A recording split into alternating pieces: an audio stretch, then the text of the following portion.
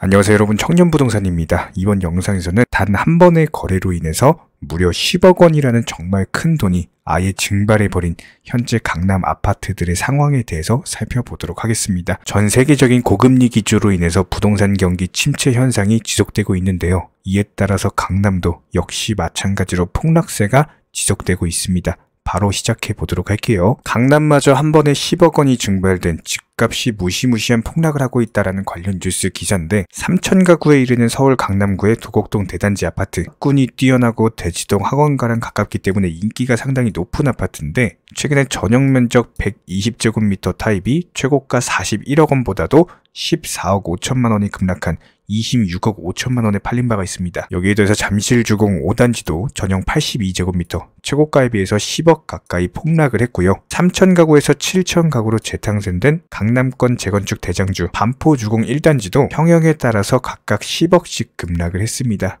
현재 철거가 마무리된 상태이기 때문에 착공 이후에는 10년 보유, 5년 거주한 경우에만 팔 수가 있기 때문에 현금이 급했던 집주인들 위주로 급매물을 내놓은 것으로 보이고 이런 식으로 급매물 위주의 하락 거래가 늘어나면서 서울 아파트값 하락률은 점점 더 커지고 있는 상황입니다. 고금리 기조와 더불어서 경기 침체 우려가 겹치고 있기 때문에 기본적으로 팔려고 하는 사람은 비싸게 팔려고 하고 살려고 하는 사람은 싸게 살려고 하다 보니까 일단 거래 절벽이 이루어지고요. 그러다 보니까 급매물 위주로만 거래가 되면서 낙폭은 더욱더 커질 수밖에 없다. 현재 시점의 전국 아파트 값은 점점 더 하락폭이 커지고 있는 아주 심각한 상황입니다. 실제로 강남구 일원동에 위치한 목련타운 아파트 단지를 살펴보면 평수는 36평형이고요. 3개의 방과 1개의 화장실로 구성이 되어 있고 세대수는 650세대, 고층은 15층, 사용 승인일은 1993년, 용적률은 249%, 건폐율은 25%입니다. 지도상으로 봤을 때 이런 역을 끼고 있는 초역세권 아파트고요. 바로 옆에 삼성 서울병원, 광수산, 인근에 초등학교, 중학교, 고등학교가 위치해 있습니다. 실거래 기준으로 봤을 때 지난 2016년 당시 8억대 후반, 9억대 초반에서 거래가 되던 매물이 무려 25억 3천만 원이라는 진짜 말도 안 되는 가격으로 상승을 했습니다. 해당 매물 이제 겨우 하락 시작됐고요.